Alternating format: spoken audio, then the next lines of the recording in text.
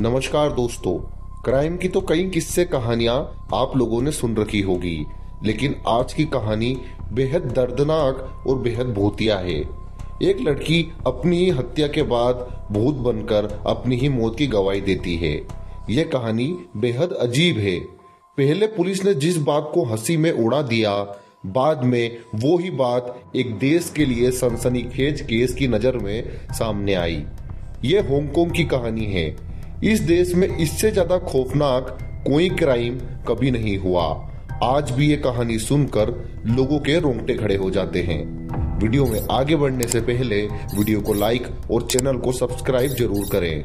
मई 1999 से कहानी की शुरुआत होती है। 14 साल की एक लड़की पुलिस स्टेशन पहुँचती है और कहती है, मैं बहुत परेशान हूँ। एक भूत मुझे सता रहा है। ये सुनकर पुलिसकर्मी लड़की का मज़ाक बनाते हैं। लड़की कहती है, ये बात हंसने की नहीं है, सर। ये सच है। दरअसल जो भूत मुझे दिखता है, वो एक औरत है। वो भूत कई बार बिजली के तारों में बंधी हुई दिखती है। उसके गले को घोटा जा रहा है। पूरे शरीर पर चोट के निशान है। वो मुझसे मदद मांग रही है। फिर वो मर जाती है। मैं रोज यही सपना देखती हूँ। मुझे लगता है किसी औरत की हत्या हुई है। जो इंसाफ चाहती है। पुलिस वाले लड़की को वहाँ से अपने घर वापस भेज देते हैं। अगले दिन वो दोबारा पुलिस स्टेशन पहुँच जाती है। पुलिस वालों को बच्ची की बात पर यकीन नहीं हो रहा था। तभी चौदह साल की बच्ची ऐसी बात करती है कि पुलिस वाले भी सोचने पर मजबूर हो जाते हैं। लड़की कहती है कि जो कत्ल का सपना मैं देखती हूँ, उसमें कई लोग शामिल है, जो युवती का कत्ल कर रहे हैं। न जाने कत्ल करने वालों में से मैं भी एक हूँ। लड़की की ये बात सुनकर पुलिस वाले भी हैरान रह जाते हैं। अब पुलिसकर्मी लड़की से पूछते हैं कि अच्छा ये बताओ, ये कहाँ का मामला है?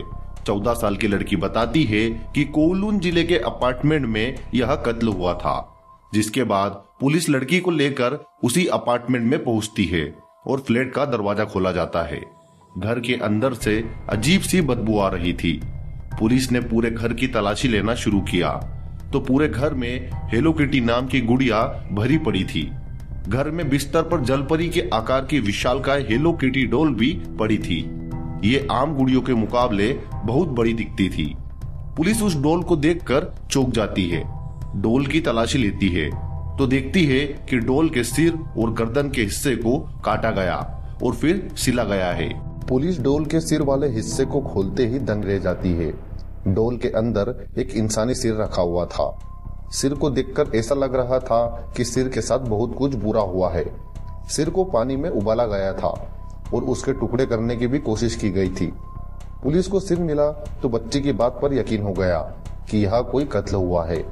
यहीं से सामने आई कत्ल की चौका देने वाली कहानी। हांगकांग के इतिहास में ऐसी कहानी ना कभी किसी ने देखी और ना कभी सुनी। दरअसल कहानी हांगकांग की एक लड़की की है। हांगकांग में एक मामूली से परिवार में पैदा हुई फेन मेन जो कि बचपन से ही अनाथ हो गई थी। पहले चाइल्ड होम में रही और बड़ी हो गई तो उसे ड्रग्स की लत लग गई। ड्रग्स की लत को पूरा करने के लिए जिसम फरोशी के धंधे में आ गई। इसी दौरान उसे लगा कि ज़िंदगी ऐसे नहीं चलेगी तो उसने नाइट क्लब में नौकरी कर ली। इसी दौरान उसकी मुलाकात चाँद मेन लोग से हुई, जो कि एक ड्रग डीलर था। यही वजह थी कि दोनों में दोस्ती हो गई। सब कुछ ठीक चल रहा था, कि तभी 1999 अप्रैल में फेनमैन की ज़िंदगी में तूफ़ान आ गया, जब फेनमैन चाँद लोग के घर गई। चेन मैन लोग बाथरूम में था। इसी दौरान फेन ने लोग का पर्स चोरी कर लिया। लोग के पर्स में करीब चार हज़ार अमेरिकी डॉलर रखे थे। लोग को पता चला कि उसका पर्स फेनमैन ने ही चोरी किया है तो उसे बहुत गुस्सा आया। वो ड्रग डीलर था। अपराधी किस्म का था। लिहाजा उसके कई शूटर भी थे। लोक ने शूटरों को कहा कि उसे किडनैप करके मेरे अपार्टमेंट में लाओ। लोक ने फेनमैन से कहा कि पैसे वापस करो और अब तुम हमारे लिए जिस्म फरोशी का धंधा करोगी। अब फेनमैन को एक फ्लैट में कैद कर दिया गया। लोक अपने साथियों से फेनमैन का रेप करवाने लगा। उसे बंधक बनाकर मारपीट करने लगा। दिन में गैंग के सदस्य कई बार रेप करते थे। सिर को पंचिंग बैग बनाकर पीटते थे। फेनमैन को सिगरेट से जलाते थे। इसी दौरान 14 साल की एक लड़की फोंग भी जिस्म फरोशी के धंधे में आ चुकी थी। एक रोज लड़की को भी अपार्टमेंट में लाया गया, जहाँ उसने देखा कि फेन मेन पर जुल्म हो रहे थे। खाने पीने के लिए मलमूत्र दिया गया था। गैंग के सदस्य फेन मेन को एक साथ पचास पचास पंच मार रहे थे। गैंग के लोगों ने फोंग को भी कहा कि तुम भी मारो।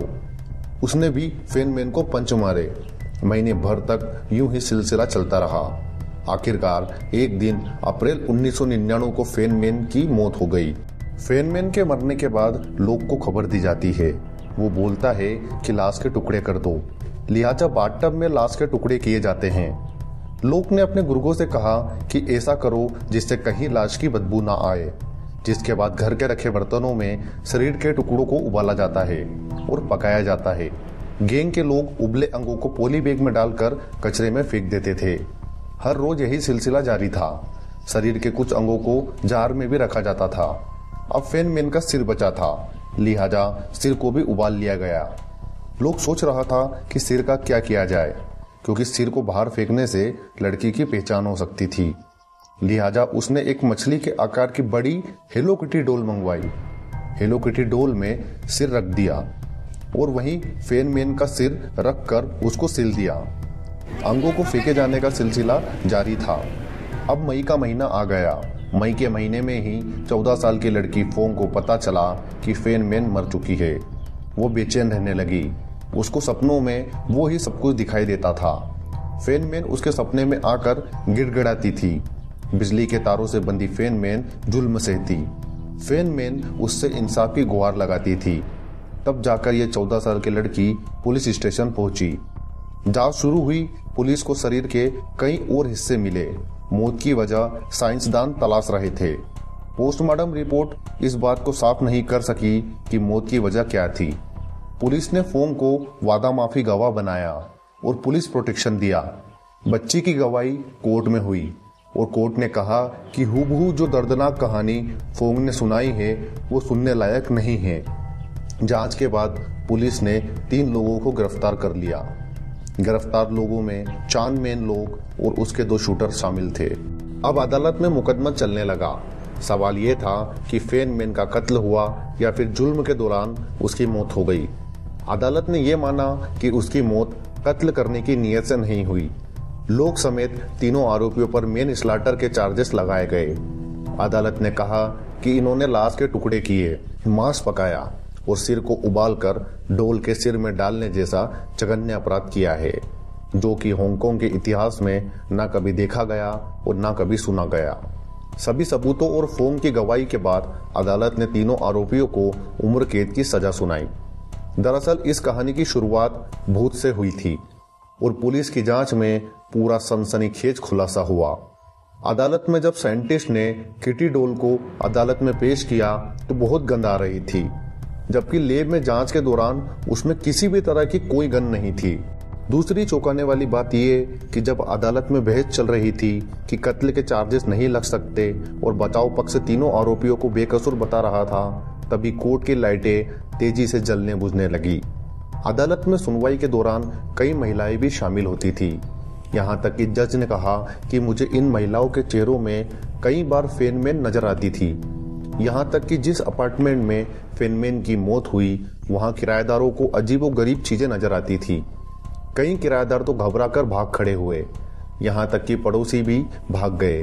कोई भी इस इमारत में नहीं रहना चाहता था। लिहाजा 2012 में मालिक की राजामंदी से अपार्टमेंट को जमींदोज कर दिया गया। ये कहानी हांगकांग के सरकारी दस्तावेज़ में आज भी दर्ज है। इस कहानी को पूरी दुनिया हेलो किटी डोल के नाम से जानती है।